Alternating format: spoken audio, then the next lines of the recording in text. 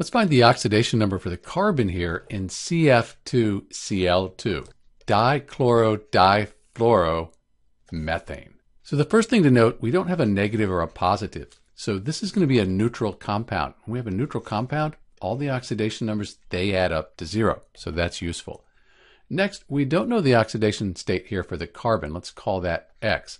But fluorine, fluorine is always negative 1. So each fluorine is going to be negative 1. And then chlorine, chlorine is in group 17, sometimes called 7A.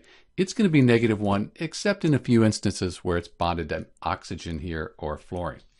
Because the chlorine it's bonded to carbon, it's going to be negative 1. So each chlorine will have an oxidation number of negative 1. So we could just set an equation up. Say x minus 1 times 2, since we have two of the fluorines, plus minus 1 times 2. All of that equals 0, since it's a neutral compound. So x minus 2 plus minus 2 is minus 4. x minus 4 equals 0. So x is going to equal a positive 4. So the oxidation number on the carbon in CF2Cl2, dichloro-difluoromethane, that's going to be positive 4.